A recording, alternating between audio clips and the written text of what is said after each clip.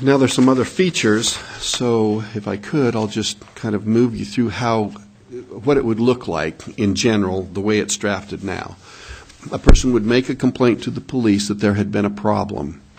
And, and that's because there, there are kind of two approaches. One is the Sandpoint's approach, which is more like the EEOC approach, uh, where um, the government agency would investigate the claim and then make recommendations about the claim. Um, this is what I call the criminal approach. It's fairly known to people. If somebody thinks that there's been a violation of the code, then they call the police. The police respond. They investigate the complaint and put all of the materials together and send it to the prosecutor. Now, for those who don't know, there's a difference between the city prosecutor, who typically in our city, even though there are only two of us, in the city attorney's office handles prosecution services, and the city attorney has been handling non-prosecution services. Um, in order to be able to send people to mediation and to have kind of a not a cooling off period, but an interim where maybe some discussion could take place in a forum other than uh, as a defendant of a crime, um, we've created what we call an ethical wall or a Chinese wall. Um, it, it's common uh, in the law where you have a big firm and you don't want information passing between people uh, in the law firm about something that they have in common, right? So it's an idea of kind of separate it, uh, kind of like drawing a line down the down the Rambler back seat, you know, so your brother can't go across it.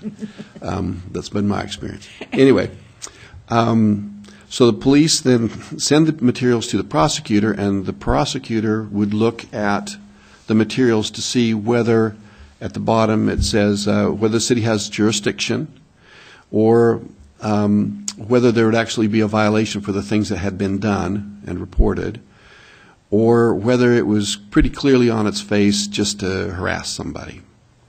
If they, if, if the prosecutor finds those to be true, then the prosecutor would not charge um, and they would just close the, the case.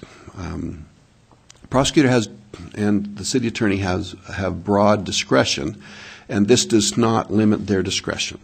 If you trust the prosecutors to um, prosecute, the, the, theory is if you prosecute domestic batteries, um, urination in public, uh, people who drink underage, uh, people who drive um, uh, while they're intoxicated, the idea is that you would trust the prosecutor to make good decisions about this kind of a case also. So that's why this doesn't limit the prosecutor's discretion.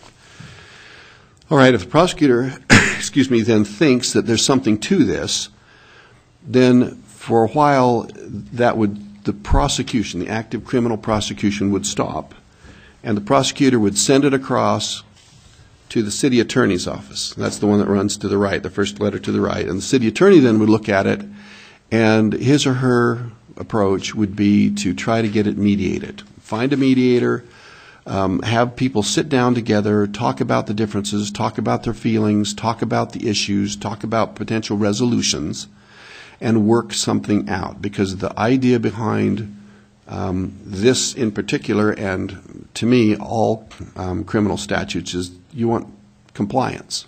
That is the goal, not punishment, but compliance. So if they sit down and they work it out, they apologize, they work out a plan, somebody gets some education, uh, they exchange information, and and both the complainant and the um, defendant or the person complained against work it out, then it, um, at there at the top it says then they close the complaint.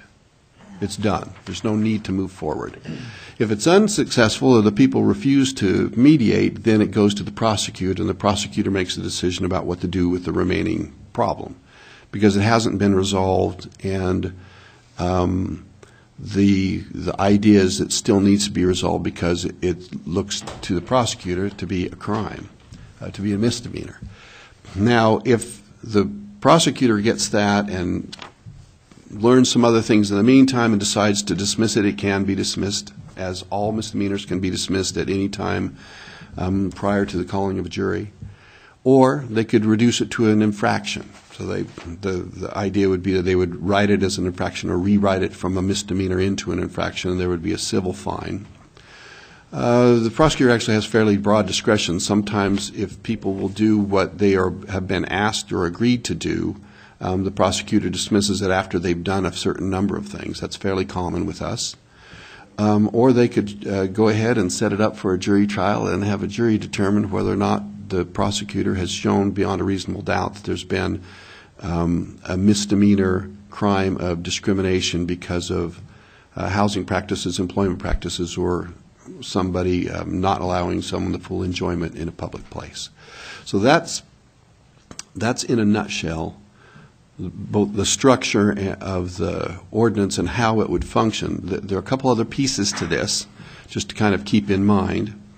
Uh, One would be that I would recommend um, that if, uh, once everything is determined, and if the city council moves forward with a discrimination or, and non-discrimination ordinance like this, that they pass a resolution that outlines this process, or a process that the council's comfortable with that would be a guideline for um, both the prosecutor and the city attorney to follow, um, and also for the public to know that when it goes in the hopper, there's something else that's happening that can be expected to happen.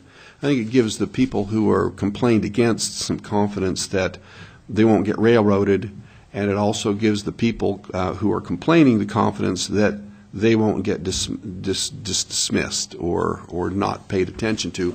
That's not normally what I would recommend because I like to have the prosecutor have complete discretion and the city attorney have complete discretion, but it would act as a guideline, I think, to, to inform the prosecutor and the city attorney what's expected of the council, right? Now, if it's, vi- the reason some ordinances have that in their ordinance is because they want to make sure that it stands out in the ordinance. The reason I don't recommend that is because if somehow someone fails to meet one of the conditions of those guidelines, I think there's an argument that you, your prosecution just failed. And I don't want the, the process that's due to interfere with what's necessary for the criminal, criminal matter. Um, So that's just a kind of a stylistic thing.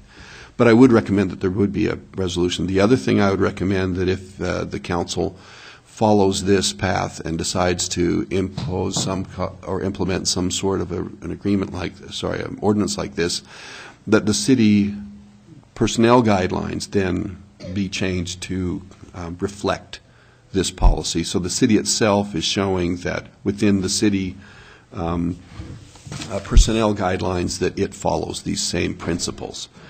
Uh, You'll remember that a few years ago, we did consider that, and it was found to be uh, not necessary at the time. Uh, It seems to me that it would be consistent if the city council would make something a criminal offense to others, that it should, it should also, it also applies to the city here too, by the way. But it'd also be nice to have that as a statement in the city policy, which is easy to do. It would just be probably the addition of the words sexual orientation and the words gender identity expression with probably a little bit of a definition for both of those so it would be clear. Um, That's about as short as I can make it. Um, I can- Good job. I can talk longer about it. I know you And can. and I'm happy to answer any questions. I do know that, uh, oh, one other thing, and I put it in my, uh, my materials to you, uh, I met with the chief of police and the uh, representative of the um, Fair Housing Commission and the chair of the Human Rights Commission to talk to them about this and ask them what concerns they had. And I, I believe that it's accurate to say that they thought this was a good starting point. I think they all have comments that they would like to make, and they all feel strongly that they'd like the public to be able to make their comments and make and, and give input, and I agree with that. Um, But I think in general, I think, and, and see, I think they have representatives here today, so that's up to you to recognize them, but I'll just speak for them. I think that they're generally supportive of the idea of having an ordinance like this. So with that, um, are there any questions that you have? Well, just probably a couple questions, Randy, to start off with. Um, You know, we've all seen the sign that, that a business, can- some businesses will put up that say, "We reserve the right to reserve, to refuse, we, res- we, we, res- yeah, we reserve the right to refuse service to anyone." That's correct. And it doesn't state as to they have to have any reason why. Um, So does that preclude a business owner simply saying, I don't want to serve you in my business? I don't have to tell you why, but I'm not going to. Now, is that a business owner's right to be able to do that? It is now, under most circumstances, there are certain things that, that people couldn't refuse someone um, service for, but um, this would change that uh, for sexual orientation and for gender identity expression. Um, I know that uh, 100 years ago they had signs that said, no Irish need apply. Um, that's not the tenor of our country. Um, so uh, it does change the relationship um, between those uh, business owners or people in control of properties. Okay, the- let, let me It does. tell you why I have that, and it comes from my own personal business experience of all those years, okay? And I always said that, you know, a business relationship is like any personal relationship. The customer has to feel comfortable doing business with the business owner. At the same time, the business owner has to feel comfortable doing business with his customer. And occasionally you'll get a customer that you get the feeling they're just going, they're, all they want to do is, is take advantage of you. And at that time, you end that particular business relationship.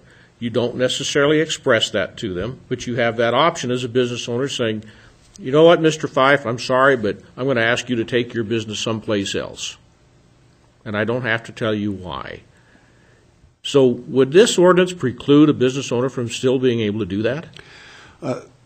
You Because he's not saying why, and I don't, and so would he have to?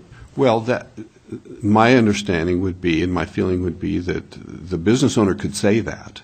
But if I felt that the reason why wasn't because you didn't like me or didn't want my money, it was because I had a characteristic that um, was either gender identity um, or expression or sexual orientation, I could go to the police department and say, you know, I, tried to buy some tires, and this guy said he didn't want my business, and I think that that was because I'm gay. And then I could make that complaint. The police would go through this process, and the process itself should be able to sort out whether I'm just mad because um, you know I made this up, or because I had a legitimate reason to go in and do business with you, and you discriminated against me because of that characteristic, or your perception that I had the characteristics that are protected. So, and that might that include mediation. Uh, there are a couple gates here. One is the filing of the complaint. If it just makes me mad and I don't file a complaint, I don't know and I go through and the police listen to me and collect their things, they'll be making judgments. Then the prosecutor makes a judgment, the city attorney makes a judgment, the mediation makes a judgment, and the prosecutor again makes a judgment, and perhaps the jury makes a judgment. So it's, it's hopefully set up so that it doesn't railroad anybody or uh, dismiss anybody. But for example, a number of years ago, there was a federal institution here in town, and they called me and asked me if it was uh, well, a person called me and asked me why they couldn't go th- into that place because they had uh, an ADA trained dog. So I worked with them, you know, just called them up and said, hey, look, you know, that's against the law. You know, they just want to go in and mail a letter. And they were asked not to, you know, uh, they were asked not to come in because they didn't want a dog in, I won't say where it is, but it's a federal installation. It's close to here. Um, so anyway. Where you can mail letters. You can mail letters Said that. That's what I said. and, and pick up letters.